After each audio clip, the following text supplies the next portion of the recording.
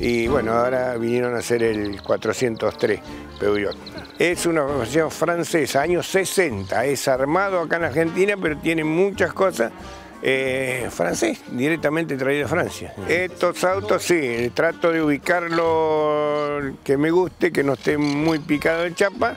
Después lo demás lo hago yo, motor, diferencial, caja, eh, preparo todo listo para pintarlo.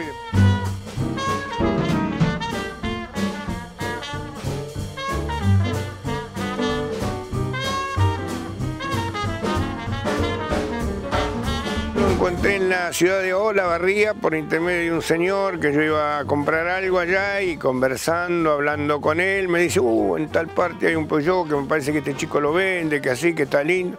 Y bueno, fui a revisarlo, el auto estaba muy lindo, lo que tenía el motor desarmado, que estaba roto, y me lo vendió. Así que al otro día fui, lo cargué en un trailer y me lo traje para el campo. Estaba de chapa, estaba lindo, que lo más difícil es este, qué es lo que lleva en estos casos estos autos. Después lo demás, tema motor, caja, diferencial, suspensión, eh, no me preocupa porque es fácil hacerlo. Aparte yo tenía repuesto de Peugeot que había comprado a un señor que tenía repuestos legítimos franceses. Reparé los amortiguadores, todo, tenía todos los retenes, todo, y muchas otras cositas totalmente francesas este, que me vino 10 puntos y por eso lo terminé rápido.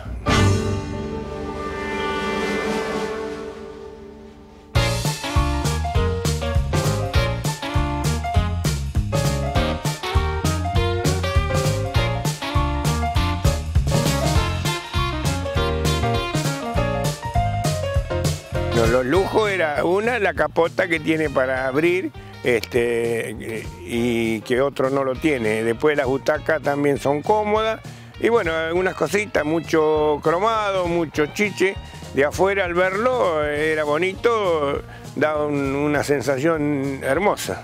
Caja de cuarta, motor cuatro cilindros Nasta, este, y suspensión independiente, delantera y trasera, un diferencial rígido pero con dos aspirales, muy buen andar. Tenía el auto muy buen andar, buenos frenos, un auto en su época fue un boom.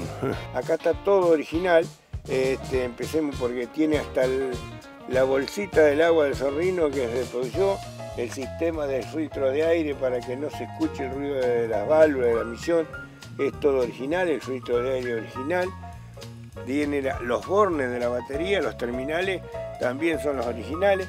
O sea que el auto está completo, completo, bien original. Relevo de voltaje, radiador en bronce como venía, todo de fábrica. Está muy original. Las luces que eran amarillas, que les llamaba la atención a todos en esa época, eran como rompeñiebla, bueno, era una novedad. Este, y así todas las veces que sale un vehículo nuevo, tiene muchas novedades hasta que uno aprende a conocerla y bueno, después pasan de ser este, novedades y bueno, quedamos con lo que tenemos hoy, este, que ha cambiado todo.